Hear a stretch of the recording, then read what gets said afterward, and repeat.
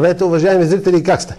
Добре дошли в предаването Диагноза, единствената напълно свободна трибуна на словото и то не само в българското медийно пространство. От сърце ви пожелавам прекрасна есен, нека се преборим на пролет, живот и здраве, но ви желая да имате наистина хубави дни, топло време, всичко на трапезата и в, на пролет, живот и здраве да не се оставяме така на апатията. Помните ли, че неотдавна западняците нарекоха България страната на тъжните хора?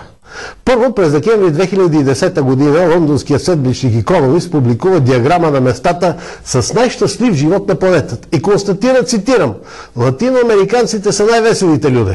Хората в бившия Съветски съюз са драматично нещастни, а България е най-тъжното място на света по отношение на доходите на глава от населението. Как стана така? Че от страната на абсолютната демокрация, както през 1938 година определил държавата ни професорът от Хелзинския университет Алберт Хавелайнен, се превърнахме в тай, най-тъжното място на света. Който е пропуснал предаването диагноза от 9 септември, може да съжалява, защото тогава и запознах с отказ от статията на професор Хавелайнен, публикувана в някогашното списание финландско иллюстровано издание. Ако ползвате интернет и ви интересува, поне още известно време можете да гледате запис от тази емисия в YouTube. Вината на тогавашните управници на България е нищожна. В сложната обстановка на света в навечерието на Втората световна война, българският цар и правителството не са имали особено богати възможности за избор на по-различна политика от възприятата тогава. Нека също така да не виним за това само комунистите и техните господари в Кремъл. Те почти нямаха влияние сред народа. Виновни са за ужасните си престъпления, извършвани по време на войната и след нея. Тогава ние просто бяхме продадени. Не е вярно, че това е станало на сещата на тримата големи от съюзническите сили. Сталин, Рузвелт и, Рузвелт и Чърчил, проведено от 4 до 11 февруари 1945 година в Ялта. В Крим тримата тогавашни главатари и главни слуги на тайното световно правителство изобщо не са се занимавали с нас. По това време те са разпределили своите сфери на влияние в Централна и Западна Европа според плана, зададен им от техните задкулисни господари. С източна са, се, са приключили 4 месеца по-рано по време на сбирка в съветската столица. Нека се доверим на британската енциклопедия. На страница 717 в изданието и от 1993 година четем дословно следното. През октомври 1944 година, по време на среща в Москва, Чърчил щедро призна и допусна принципа за сферите на интереси, като предложи 90 на 100 съветско влияние в Румъния, 90% британско влияние в Гърция, 75 на 100 съветско влияние в България и разделяне в равни пропорции 50 на 50 в Югославия и Унгария. Макар да изглежда цинично, това беше мълчаливо признание на стратегическите и военните факти. Край на цитата. Това е положението. По същия начин разделиха Германия и Австрия. Съсипаха Чехословакия, а преди това Полша. Предадоха и пребалтийските републики на Кремъл. Някои сещали са, че в навечерието на Втората световна война англичаните сключиха с поляците договор за военна взаимопомощ. Още след нахуването на нацистите и съветите в Польша, юдел-комунистът Уинстън Чърчил обеща да върне демокрацията на полския народ, а в последствие се съюзи с един от ликвидаторите на поляците, болшевишкия масов убиец, червения фашист Йосиф Сталин. Онова, което най-строго се отрича и укрива е, че и болшевизмът с главорезите на Ленин, Троцки и Сталин, и фашизмът с масовите походи и насилие начало с Мусолини, и нацизмът с Хитлеровото политбюро бяха измислени, планирани, финансирани и реализирани от един и същ таен финансово-промишлен център. А самозабавилите се олимпийци от това тайно световно правителство се довериха предимно на юдеи и криптоевреи. Тези техни слуги до един ненавиждаха християнството и бяха зависими от своето престъпно и позорно минало. Както обещах в предаването от 9 септември, Продължавам да изнасям истината за тези силни лица, които доведоха трудолюбивия български народ, най-древния на планетата, до настоящето му печално даредже. Тогава спрях до комунистическите изопачавани и измами истината по отношение на рязаните партизански глави.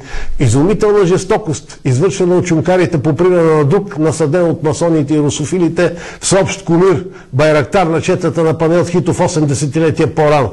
В предното предаване разкрих истината за броя на дадените от комунистите жертви, резултат от тяхната терористична дейност, насочена срещу българския народ и неговата държава. По техни данни, от 9 юни 1923 до 9 септември 1944 година са загинали с оръжие в ръка общо 4816 парчета. Повтарям, преди да се обърна към делата на комунистите след 9 септември 1944 година, нека припомня кой ни остави в лапите на безмилостната и изгладняла съветска мечка. И да припомня, че въоръжените престъпници, терористите могат да бъдат победени само с подобни на техните средства. Обаче вие вярвате, че има биш комунисти или ченге. Делите ги на добри и лоши. Доверявате се на разни лицемери, предатели, опортунисти, награждачи, които без изключение са напълно зависими от тайната власт. Имам предвид всички настоящи партии, техните лидери и подгласниците им. Пътната връв на всички тях изобщо не е прекъсната. Тя е свързана с централата на Позитано 20 и с по-настоящем ресторантите на уж бившата държавна сигурност. Някога земеделският водач Георгий Михов Димитров поступил глупаво, до суш като мнозина от вас и се доверил на комунистите. Неговият земеделски съюз плавно участвал заедно с тях, с социал-демократите, с радикалите и клетвопрестъпниците от кръга звено в антиотечествения фронт. Лично доктор Димитров влязал в сътрудничество с другарите. И чужди пари се борил срещу законната власт в царството. Докато по някое време след 9 септември 1944 година не опитал на собствения си гръб лоялността, почтеността и милостта на безродните болшевики. След като успял да избяга в САЩ, Гемето, както е популярен бащата на Пишман, земеделката и агентката на комунистическите тайни служби Анастасия Мозер, бил призован да се яви като свидетел, за да бъде изслушан от законодателната подкомисия към Комисията за антиамериканска дейност при Конгреса на САЩ.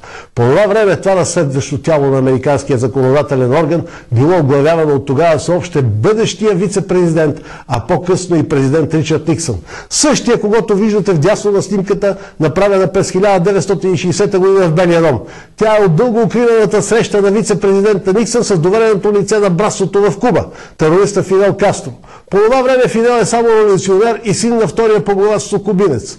По майчина линия неговият род Рус, Русо е свързан с Франклин Рузвелт, Розенфелд. На този съкретен прием в Белия дом Никсън дава указания на великия ел команданте Кастро Рус, как последният наследникът на най-големия плантатор в Куба да се самопровъзгласи за марксист и комунист. Но да се върнем в 1948 година. Тогава, на 19 февруари, конгресмените разпитват доктор Гема Дебитров за работата на комунистите в Съединените щати и по-специално за дейността им, свързана с българските и славянските иммигрантски групи. Тъй като основна грижа на подкомисията уж е да подготви закони, които да ограничат вредата от комунистическото влияние вътре в страната. В биографично изследване, посветено на неговия покоен тъст, зетят на гемето, американският професор Чарлз Мозър се позовава на стенограмата от този разпит. На страница 225 от книгата на професора четем. Към, към края на показанията на доктор Димитров, конгресменът Никсън му задава няколко въпроса, свързани с законодателството, което трябва да бъде прието срещу Комунистическата партия на САЩ. Отначало доктор Димитров се опитва да заобиколи въпроса дали законите прияти за ограничаване на дейността на комунистите в България преди войната са се оказали ефикасни. Никсън обаче настоява и Димитров казва, че законът не би бил от голяма полза в борбата срещу комунистите, тъй като те винаги работят извън него. Те много добре съзнават, че могат да бъдат победени само с средствата, които използват срещу своите врагове, казва той. Срещу тях трябва да се използват собствените им конспиративни методи. Необходимо е да се използват всички средства, които биха възпрепятствали дейността на международната конспирация, при това без никакво отлагане. Защото по-късно вече няма да можете да използвате тези средства дори и да искате. Това е, друг начин няма. По това време Геме Димитров все още се заблуждава, че огнището на болестта се намира в Москва.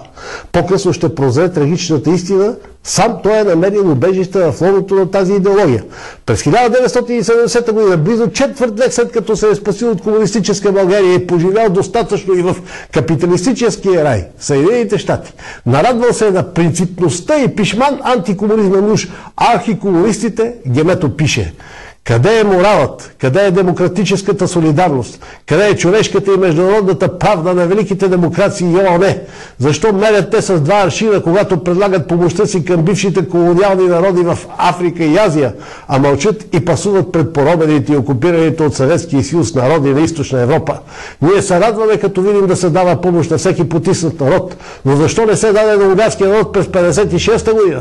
На българския народ, който пръв започна съпротивата срещу съветската окупация? Окупация? Защо не се помогна на полския народ през 1956 година? Защо не му се помогна сега, през декември 1970 година? Защо не се помогна на чехословашкия народ през 1968 година? Защо?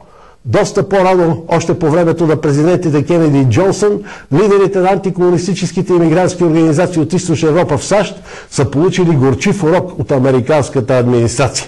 По време на официална вечеря, дадена през 63 година в Вашингтон по време на седмицата на поробените народи, в качеството си на председател на събранието на поробените европейски народи, доктор Димитров се изказва срещу общото развитие на американската външна политика. Ние сме убедени, заявява той, че приятелското благо разположение или услужливостта в отношенията с комунистическите режими никога няма да доведе до вътрешна свобода и по-малка зависимост от Съветския съюз. Те трябва да бъдат изтъгнати с постоянен натиск отвътре и отвън. Духът на нашите сънародници не укрепва, а се подкопава всеки път, когато вие от свободния свят не успявате да направите разлика между поробени и породители. Всеки път, когато демонстрирате уважение към натрапените им управници, всеки път, когато се държите така, като че ли признавате тяхното робство за окончателно, а спасението им за осъществимо.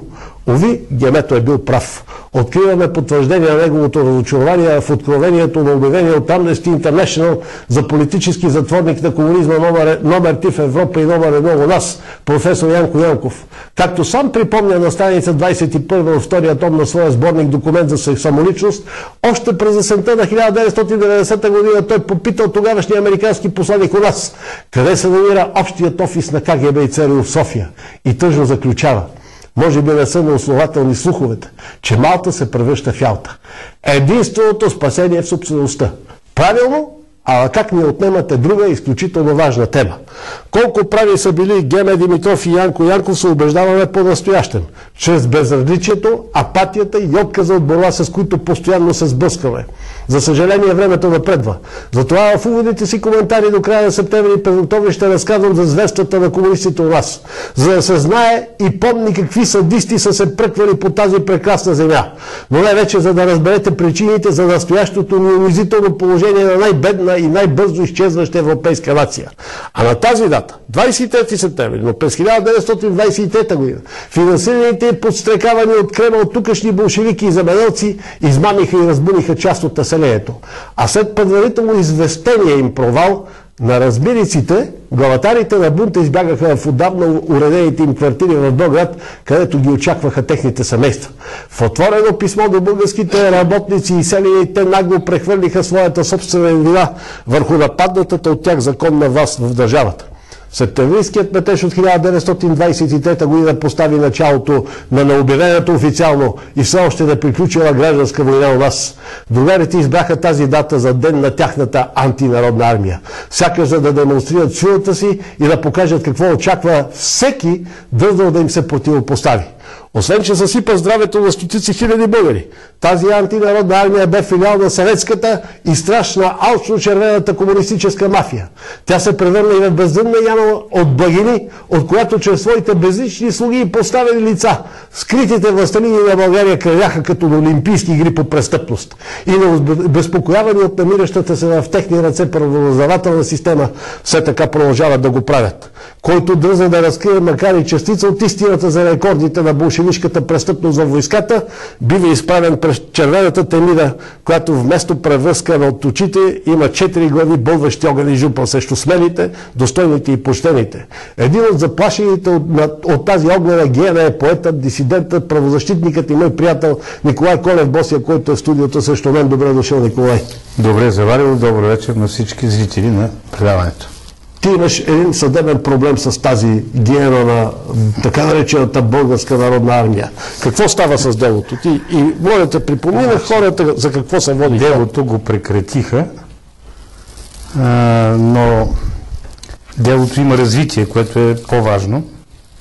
Преди три години и половина в едно твое предаване, късната есен на 2008 година, в една друга телевизия, която водеше но същото заглавие имаше. Същото заглавие.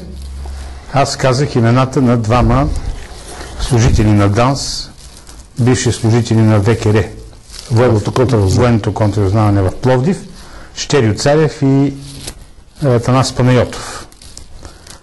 затова аз ги обвиних в това, че те подпомагат контрабанда, свързана с двигатели на хеликоптери, с редуктори и с друга техника, която е с възможна двойна употреба. И цивилна и военна. да. Те ме дадоха на съд и три години делото се влачи. Аз направих е, десетки искания чрез съда да получа документи от Министерството на отбраната. Направих и лична сеща с Ани Ангелов, току-що беше встъпил в длъжност, с е, искане да всички документи да ми се предоставят, за да мога да се защитя в съда. Така и не получих нищо от тях. В последния ден е, на последното дело дойде един човек, е, който от архива, шеф на архива в НЕО-2, е, подполковник Стоянов, ако не се лъжа, и донесе документи, които аз искам повече от 3 години, е, които са свързани с е, катастрофата на хеликоптера през 2003 година, юли месец, на южно от Разлог, който падна по време на гасение на пожар и четири души бяха, бяха убити. Загинаха, да. начин, да. Скоро майче имаше парахида, относително скоро имаше да, парахида. Значи, да, да, това стана на, на 23 юли да. е, 2003 година. Тъй като двигателят на този, е, на този хеликоптер е, и двата двигателя са били уж ремонтирани в мотор Сич в Украина през 2002 година. Мога и датите, даже ако иска някой да каже, мога да, ги, да, да му ги съобщя. значи те са септември месец, август и септември 2002 година по документи са били, са били е, ремонтирани. Направих налична справка и се оказа, че само 6 двигателя са били ремонтирани в мотор Сич Украина и това е станало чак през 2005 година. Тоест, тъй наречения ремонт на, този, на тези двигатели на редуктора, всъщност редуктора тук пише, че в летец враждебно е, е ремонтиран, е, този, е, тези два двигателя явно не са били изобщо ремонтирани.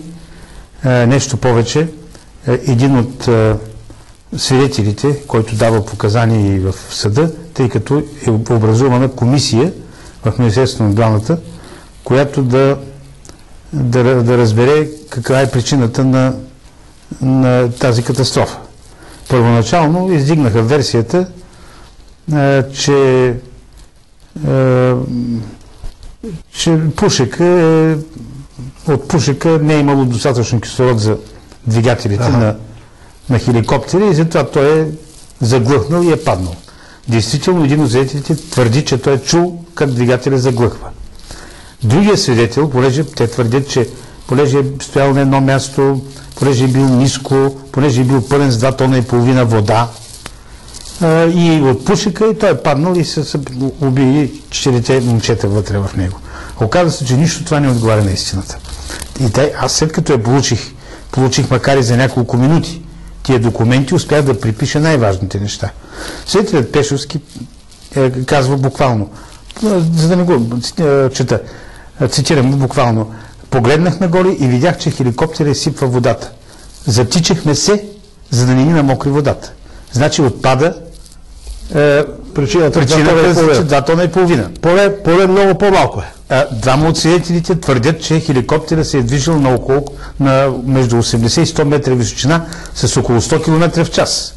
Което означава, че и дима отпада. Че, не, не, дима, изобщо, той, да. той си отпада, отпада дефинитивно, тъй като а, самият а, хеликоптер е един от малкото в света, който е пригоден а, в, в, в пълен дим, той си има собствен кислороден ресурс. Аха.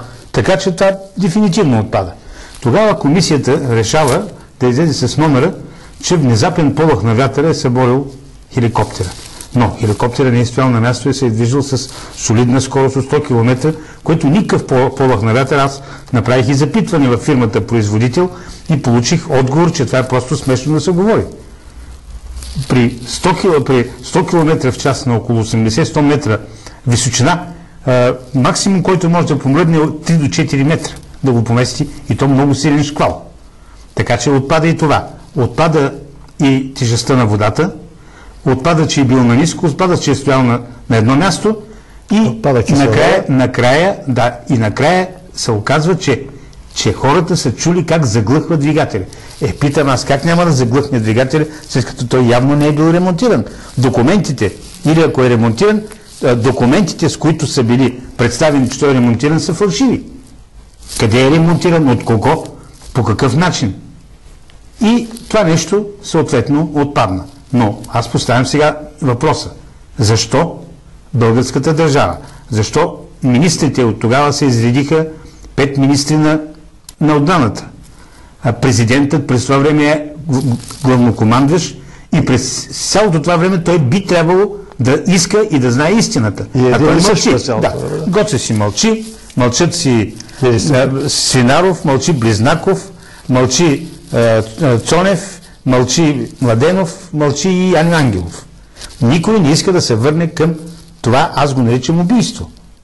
И да направи една нова а, комисия с най- най-добре е да бъде международна комисия, за да може да, да бъде гарантирано е, вярна, е, вярно неговото заключение, включително и с хора от завода производител. Не може от завода производител да ми казва, че това са смешки. И когато им казвам, че това е официално заключение на, на, на наша държавна комисия, те се изсмяха. Казват, тия, тия хора явно нищо не разбират от, е, от летение, ни- нищо не разбират от въздухоплаване. Обаче разбират от други неща. Да, разбира се. Значи, това беше едното, за което не съдиха двамата. Отпадна, слава Богу. Да, това е отпаднати. Сега, другото нещо, те били, като чули техните там близки, се ужасно се разстроили, че видиш ли, те не са си свършили е, работата, а пък то не било така. Заключението на комисията е било перфектно. Глупости на търкалета. Другото нещо, за което... само за може би близките им са питали къде са парите.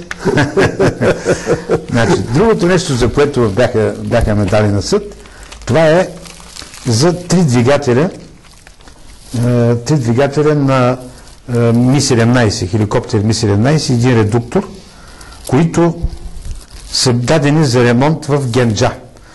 къде е това? Генджа е в Азербайджан. Азербайджан от 1991 година е ембаргова държава.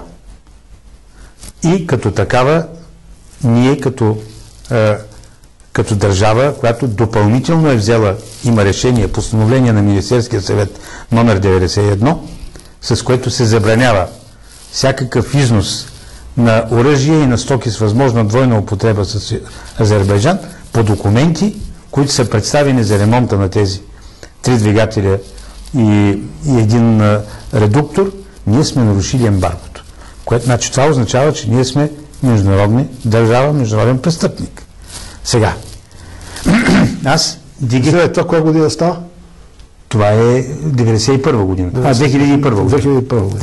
2001 година. Костов. Сега, аз направих проверка и се оказа, че в Генджа са само 8 двигателя хеликоптерни са били а, а, ремонтирани. Ремонтирани. И това е станало 1995 година. Тоест, след това време никакъв хеликоптерен двигател не е стъпвал там. А документите, и то абсолютно непълни документи, твърдят, че, че са ремонтирани, там. Сега, много интересно е, аз успях да разчепкам въпроса, слава Богу, съдийката, не знам дали е коректно да я споменавам Няма, ти си знаеш. Тук а, но съдийката ме очуди с това, че тя се държа много коректно. Защо? Държа Кажи, се... защо? Това е рядък случай. Да, рядък и аз за това не искам, е да, с добро. не искам да й създавам неприятности Аха. колегите и да й кажат ти защо е, правораздаваш правилно. е, нали? Значи успях чрез съда да изискам доста документи. Оказа се, че разрешителното от Междуведомствената комисия, която се състои от трима замминистри от Министерството на економиката, Министерството на отбраната и Министерството на вътрешните работи, са издали такова разрешение, което е в противоречие с закона. Но, то е издадено януари месец е, 2001 година.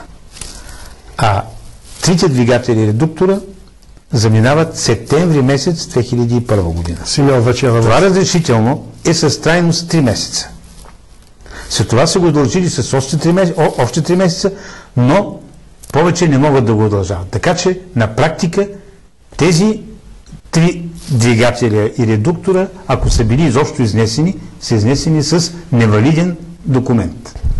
Още А, престъпление, ако Точно, точно така.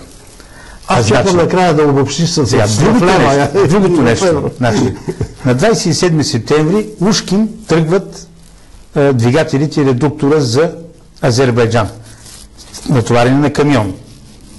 Кам, камиона от Етрополе, една фирма, която е приближен, приближен на Валентин Петров, който беше шеф на, на МВР в Пловдив, след беше и е, главен секретар. А не беше ли на гранична по- полиция? Не, беше не, добре. Живко Живко беше. Та, на, на приближен на Валентин Да. Петров, товарят го и знаеш ли как тръгва за Азербайджан? Любопитен ли си? Да, разбира се. През Видин и през Люксембург за Азербайджан с камион. А, за по-близо. Да. През още 7 граници минава, което всичко е пари. северо-западни. Всичкото е пари, нали разбираш? Да, да, да, да, да. Така.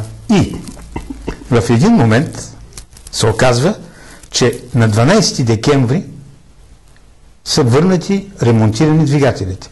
А по бюлетин, който е от завода производител и който изобщо не доставя части на, на Гянджа, тъй като Гянджа е, ембар, е в ембаргова държава. Значи те успяват да ги ремонтират, но по бюлетин трябва 6 месеца да продължи ремонта. Тъй като там всеки възел, всеки агрегат се тества задължително и накрая трябва да мине тест и целият двигател, както и редуктора. Е, Те са стахановци си. точно така. Както имаше един лав, пет, петилетката в съкратени срокове, вместо 6 месеца, 2 месеца, като не се знае колко време, ако е пътувал камиона, колко време е пътувал. Няма никакви гранични документи. И сега, аз естествено направих запитване и до, и до ДАНС. Тъй като аз ви казах, че не може, когато се говори за далавера, не може да се говори само за, за институцията, която прави далавера. Тя задължително трябва подлежи на контрол от страна на правозащит, на правоохранителните и на правораздавателните органи. Така и, значи, оказа се, че всъщност за тази далавера има една справка до министра на вътрешните работи. Можем да я покажем. Това е първият сканиран документ. Ще Така, покажем справката, ти си справката чрез, значи, е, чрез е, ВРИД директора на РДВР Пловдив до министра на вътрешните работи, където са отбелязани пет случая, пет случая на, на е, далавери. Значи, и, е, в е, четвъртия и петия са свързани с МЕО. Министерство на. Да. Изпратени са про- професорът Петканов не, не само, че не е обърнал никакво внимание, Качеството на вътрешен министър на вътрешните работи изобщо не е дал да се разгледа да се разгледа тази справка.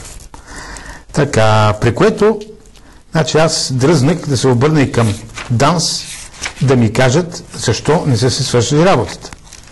И от ДАНС получавам едно, едно е, писмо.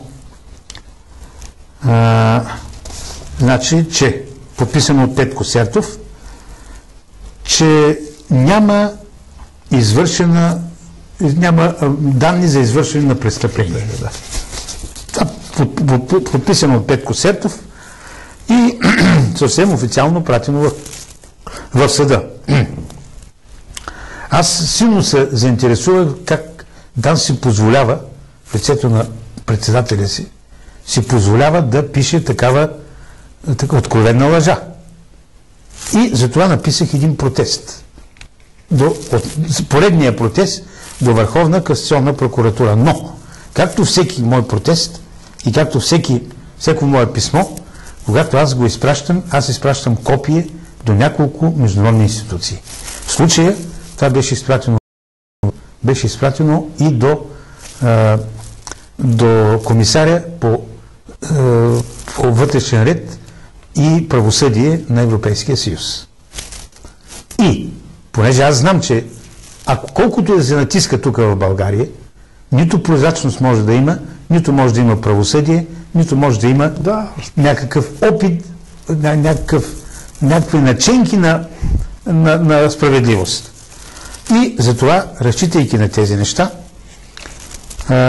останах много приятно изненадан, разбира се, изненадан е така малко в кавички, защото се оказа, че в Върховна касационна прокуратура излиза на 5 юли 2010 година излиза едно постановление, подписано от Христо Граматиков, Дали не сме го снимали? прокурор. Да, това е снимано. Снимано, да. Ще го Постановлението на Христо? Граматиков. Значи, а, той казва следното. Господин Колев изразява несъгласие с постановлението от 28.10.2008 по преписка номер 1871 на военно-окръжна прокуратура в Пловдив за отказ от образуване на съдебно производство по линия 242 от наказателния кодекс и потвърждаващо го постановление от 12 януари 2009 по преписка номер 541 от 2007 на военно-апелативна прокуратура и настоява за извършване на служебна проверка относно законосъобразността и правилността на, двете, на двата прокурорски акта. С постановлението от 21.9.2007 по преписка номер 1085 от 2007 на военно-окръжна прокуратура в град Пловдив е постановен отказ от образуване на съдебно производство с оглед данни за извършено престъпление по член 387 от НК. Значи, благодарение на този отказ, те не дават под съд Царев и, да. и Панайотов. Така, и го изтъкват като основна причина. Предвид на констатациите при извършена реализация във военна окръжна прокуратура град Пловдив с постановление от 2012-2007 по преписка номер 541 на военна прокуратура, прокуратура е извършена служебна проверка, при което е потвърдено постановлението на военна окръжна прокуратура град Пловдив. Така, при извършена проверка, значи с постановление от 12 януари 2009 по преписка номер 541 на военно-апелативната прокуратура потвърдено постановление на първоинституционната прокуратура. При извършената проверка се установява, че са на лице множество факти и обстоятелства, които не са изследвани изобщо и други такива, които са интерпретирани неправилно и незаконосъобразно. При всестранно и обстойно разглеждане на тези факти и обстоятелства се констатират противоположни изводи от тези направени от военно-окръжна прокуратура Пловдив и военно-апелативна прокуратура София. Комисионният договор Д-617 от 2001 между Н. Свинаров, действащия тогава министър на отбраната и Пламен Попов, изпълнителен директор на снабдяване и търговия, дава права на Попов да сключи договор. Така, след това, при препис се съдържат материали, че се водят в град Генджа, Република Азербайджан, е издал три броя фактури, копие от дата 29.1.2002 за трите вертолетни двигатели, като липсва фактура за осъществен ремонт на редуктора. Фактурите са придружени с сертификат за качество. Не става ясно обаче дали е заплатен ремонтът и по какъв начин, кога и на кого. Няма приложени доказателства, платежно нареждане за открит, неотменен делим банков акредитив в полза на бенефициента съгласно договора, договора. Няма данни, че са приложени всички изискуеми документи, удостоверяващи извършена ремонтна дейност при откриване на кредитив. Няма едностранно писмено изявление на Булбанк АД по разпореждане на наредителя Министерството на отбраната да извърши плащане Липсват приложени митнически документи, удостоверяващи на вертолетните комп... компоненти са преминали след ремонта азербайджанската граница и българската граница. От приложените международни товарителници и митнически манифест с дата е, 15.12.2002 е посочена като междинна митница товарен пункт Франкфурт, А. Германия за град Пловдив, България. Няма заверка и печат на митница на, Азер... на Азербайджан и на митницата в град Пловдив. От справка еди кой си номер на ДАНС е видно, че службите са получени данни за вертолетните компоненти, са преминали ГКПП Видин с товарен автомобил ДК номер СО 0787 СА за Люксембург. Няма оформени митнически документи за извършен времен износ от Република България през ГКПП Видин, което създава хипотеза дали изобщо е имало износ. Следователно съществуват индикации за изготвени и предоставяне документи с невярно съдържание, заблуждаващи движението на стоките, чиято достоверност е необходимо да бъде проверена, следва да се провери достоверността на цитираните митнически документи и изготвените фактури и сертификати от завода в град Гянджа. Трите отремонтирани двигатели и дуктора са върнати на поделение Еди Койси съгласно приложение към протокола Еди Койси, а са иззети от същото поделение от снабдяване и търговия на, през 2002 година. Заводът Газганджа е издал фактури за трите двигателя, липса обаче такава за редуктора. От наличните документи се установява, че ремонтът е осъществен в период 25 9, 29 11 2002 като не е ясно кога част са напуснали България и кога са прияти в завода в Азербайджан. Срокът за извършен ремонт е съмнително кратък. Няма данни за наличието на писмени доказателства, удостоверяващи как, къде и кога снабдяване и търговия ЕОД МЕО е предал на така, за износ вертолетните компоненти. Съгласно договор Еди кой се между снабдяване и търговия, така, следва да бъдат изготвени приемно-предавателни актове между двете страни при предаване за ремонт и следва и, и след ремонта. Такива актове по преписката липсват. Следва да бъдат проверени две хипотези. Забележете. Първата, дали, дали не е извършен фиктивен износ и ремонт на вертолетните компоненти по документи и отклонени държавни средства в частен интерес. И второ, дали не е извършена контрабанда на стоки с двойна употреба, като се представени документи с невярно съдържание и че е извършен ремонт и стоката е върната в България. Необходимо е да се установи къде се намират двигателите, тъй като тези компоненти съставляват оборудване с възможна двойна употреба. За разпореждане има действащ контрол за продажба и доставка на такива стоки, стоки съгласно постановление номер 91 на Министерския съд от 2001 година. Република Азербайджан е ембаргова държава, която попада в списъка на държавите и организациите, спрямо които Република България предлага забрана или ограничение върху продажбата и доставката на въоръжение и свързано с него оборудване в съответствие с резолюцията на съвета за сигурност на ООН и решение на Европейския съюз и на Организацията за сигурност и сътрудничество в Европа.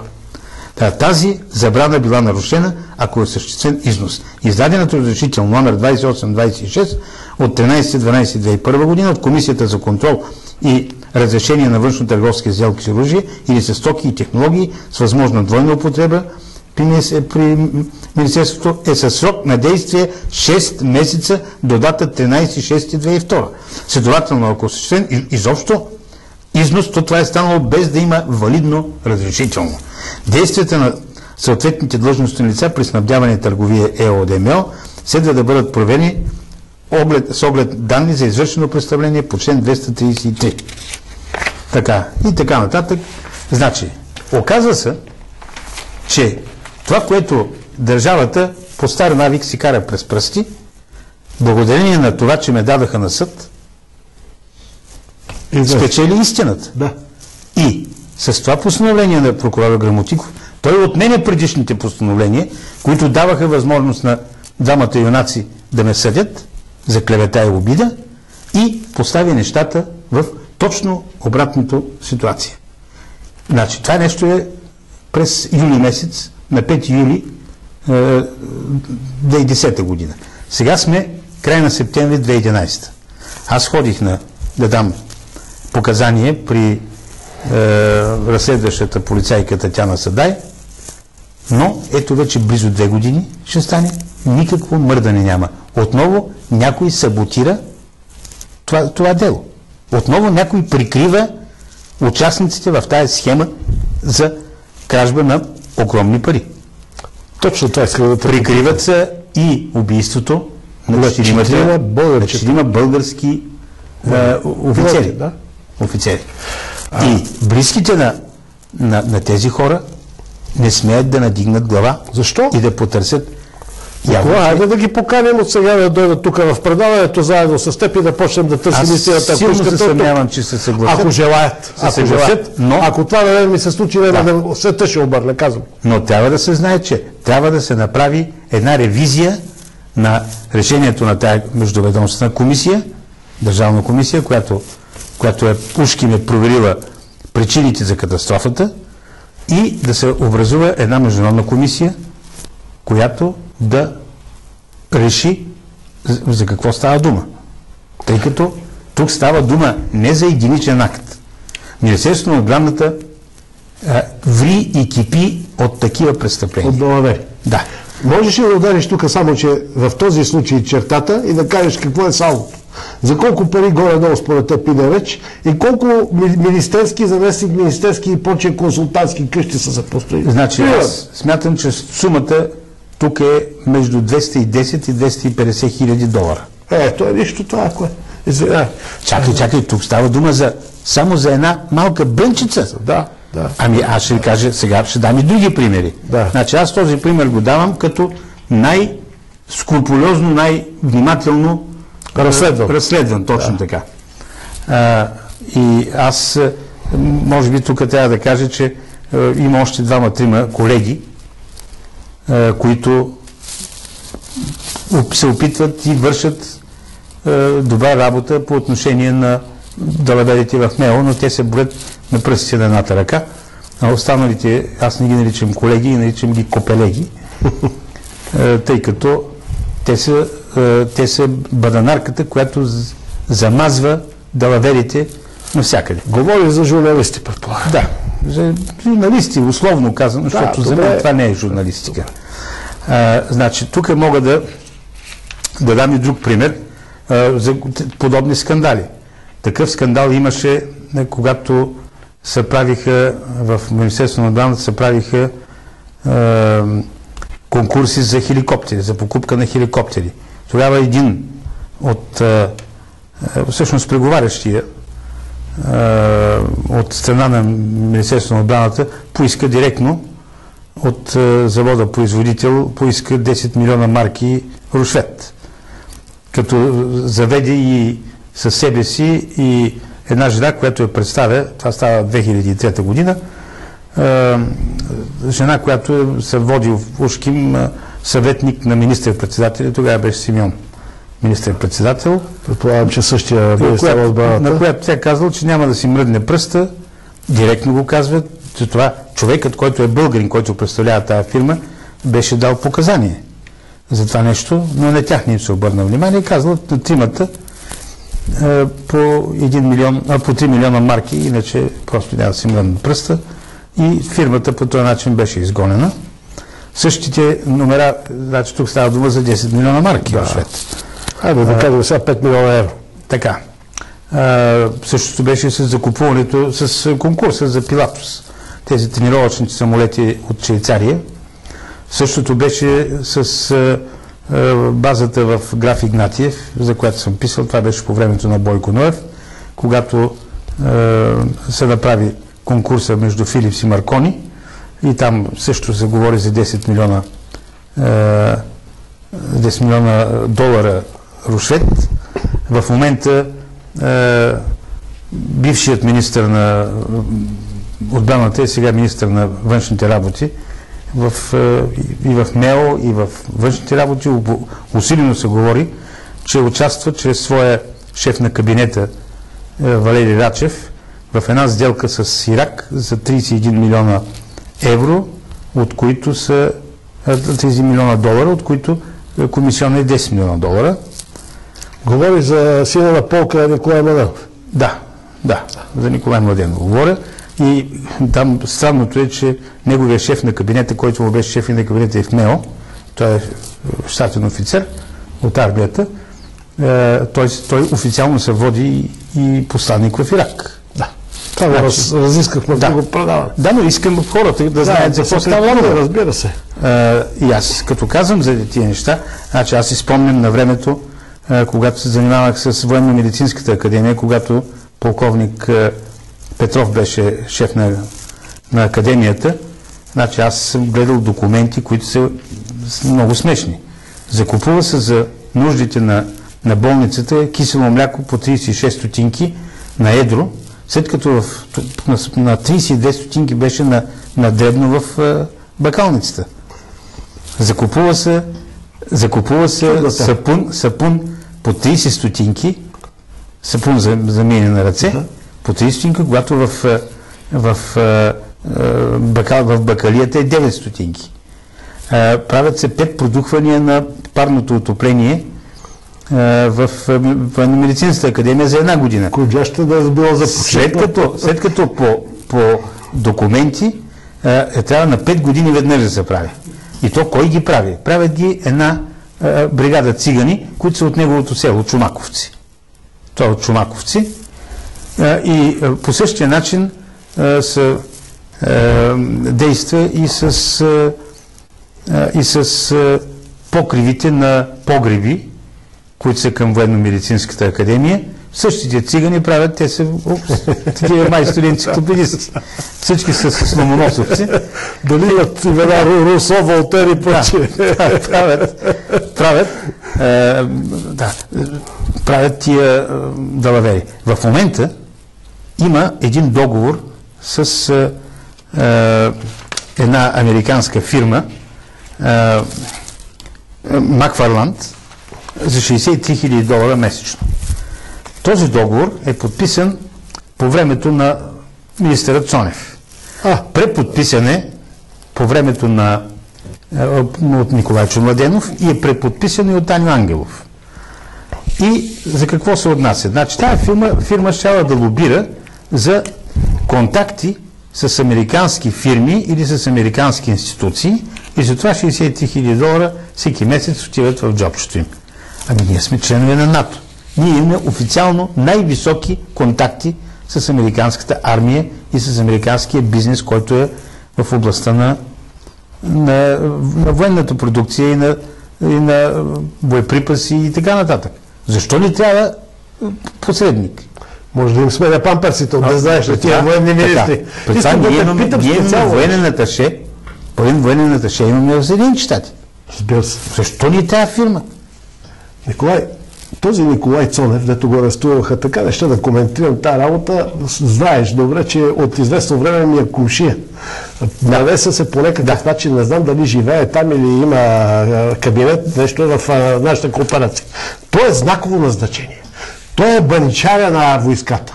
Ти разбираш един капитан, който е управлявал баниците, който е създал баничарска фирма и хлебопропагарна значи- фирма, да го сложи за министър и Значи- да зарежда неговата фирма Ами. Лучано, За защо го направиха министър? Моля? Лучано, защо го направиха министър? Защо го направиха министър? Защото той нямаше висше образование. Да, нямаше. И след като министър-председателя нямаше висше образование, също нямаше. Сега трябваше нямаше. да намерят един, един дявол, който да, го, да, да върви отпред да направи партина, че може министър Да направи прецедент. Да, да бъде и, и, без висше Абе, ти образование. разбираш ли за какво става дума? Те чик ни показват с назначенията си, че стават да навери. сега нека ами да- нека да кажа още нещо. Бе, искам да те питам, да задам ти го като въпрос и знаеш. Кой назначи този Цонев, извини ме? Баничара и хлебопекара. А, Ангелов. Едно, те, те ми спорят, другарката Бойка Борисова говори за декомунизация срещу комунистите, тя самата е членка на БКП и то потомства, а Аню Ангелов е бил делегат на конгреса на БКП. Извинявай, 90-та година, да. извинявай, той е слуга на всички господари. Да, утре, Това е ако дойдат парзианци, извини ме, той ще предаде войската и всичко. безспорно. Помня как изглежда само. Министър да е той. Ами ето, че е министър. Ама чакай, ако почнем да... Айде да коментирай да това. гледаме, И ако къде е Ако пък аз почнем да гледаме всичките министри до сега, да, ние ще видим, че един няма от тях с качества. Един няма с качества. Всичките са удобни. Това е истината. Бог да го прости, Валентин Александров с истинско е Блуменфелд беше човек, който много обичаше войската. Той е време, който беше изключителен почитател на нацистите, събираше нацистски знаци и беше е, агент на западни и на наши служби. Е, в тая област той нещичко разбираше от войска. Значи, ако той е разбирал нещичко, това е само, че, че войниците носят кубинки. Добре. И той, Не, не, и той ходеше с кубинки. Да. Правеше се, много обича. Значи, е, аз би го сравнил с е, лейтенант Чайс Копов от параграф 22. Остави го него, той си се отива. си от отива всичко най-много обичал маршируването. А, кажи, какво правят всички? Кой ги назначава ти и къде е главнокомандващия? нека да довърша с Добре. а, Макфарлан. Значи, аз имам силни опасения, както и задатки информация, че тук става дума за една далавера, която предстои да се направи. Става дума за 30 самолета F-16, които са в Турция Добре. и са на около 30 години, Оле, оле, да. които за да, уж, уж ще ни бъдат подарени. Само, че тези подарени самолети, за да се ремонтират, трябва страшно много пари. Те няма да бъдат ремонтирани, те не могат да бъдат ремонтирани, те са и морално устарели. Така че тук става дума за една много голяма далавера, която по всяка вероятност ще се опитат да, да направят. Това е обяснението за момчетата, Така, които друго нещо, което, искам- американците. друго нещо, което искам да кажа. Искам да кажа, че тази, тази, е, този завод, строителен завод МИК, американския, две години вече гние на Варненското пристанище. Не знам за този завод, признавам. Това е заводът, това е тъй наречения скандален завод, за който съдиха Цонев и не можаха да го осъдят. Да. Значи, този завод дава много бързо една изключително ефтина продукция и до сега, ако беше работил, той щеше да се изплати и да носи печалба. Значи, той, този завод се състои от 6 камиона. МАК, големите американските, и те така са свързани, технологична линия, че на денонощие правят по 1000 квадратни метра завършена площ при какво? Правят покрита площ. Жилища, хангари, заводи, офиси, всичко. Знаеш ли каква е цената? Нямам представа. 42 долара на квадратен метър. Да. Е, Не да ги, 700, не 1400, как да ги пуснат? а 42. Как да ги пуснат? Е, тогава, значи след като този завод идва в България, това е работа на, на министъра, на въ- върховния главнокомандващ или на техният играч, който играе. Отива при Никми, отива в Крит, отива всичките големи строителни фирми и казва, докарахме завода, който прави по 42 долара прави е, квадратния метър готова площ. Е, И, и унези бъркат джоба и вадят. То Това се прави. да. Ето това е. Всичките са свързани с ЦК на е. БКП фирмите. Ми Това ги е. Значи, и тук, понеже стигнахме и до върхов, върховния, три минути, да знаеш. върховния главнокомандващ, прочетох аз една статия, Четири. Какво главнокомандваше Първанов 10 години от Диан Моркин. Да, нека пуснат колегите това. Да, да покажат заглавието. Просто за да уважим момчето, да. Е, Драги зрители, обърнете се в интернет, влезте, напишете Диан Моркин и ще видите анализът, макар и че не е конкретен, анализът е точен. Че, че не може да не играе върховния главнокомандващ заедно с министър-председателя и с министъра на, на отбраната да си а, правят назначение и да си въртят далаверата. Това просто не е възможно. Да. Тук ще напомня за 10 януари 2003 година, когато неговия шеф на кабинета генерал Никола Колев отиде тайно при американците и им връчи тайния доклад квадратурата на адвокатския кръг, където са визирани е, Панайотов, Пламен Панайотов, е, е, Герджиков. Герджиков, Свинаров е, и и кой беше? Добре. Да, този приятелски кръг, който въртеше големите далавери. И защо, защо нито веднъж Гоце не вдигна скандал и не посочи министрите, които са допуснали тая корупция? Той знаеш много добре, защото цялата информация, която имаш от службите, му беше на бюрото. А той почна да се дърли, да се врънка, кое е било е- етично, кое не е етично, дали е Гоце, дали не е Гоце. И по същество той допусна разширяването на корупцията, което означава за мен, че той яко се е облажил от тая корупция. Ето това е станало. Не, нека да отидем по-нататък. Цял свят разбра, че с Wikileaks Николай Колев, Никола Колев, който беше генерал, шеф на генералния щаб, сега му е шеф на кабинета. Да. Генерал от техната антинародна армия е американски агент. Да. Той казва в телеграмата, че трябва да бъде пазен. Николай, в цял свят за това се лежи, извини за шпионаж. В цял свят дан, техните данса, дансове работят. А тук при нас не работят. Векерето военната полиция не работи. Или ако работи, работи да прикрива. От това е цялата работа. Когато на две- а, д- 99-та година беше Бойко Ноев министър, направи една пресконференция в, в МЕО-2. Аз отидах там и последен зададах въпрос.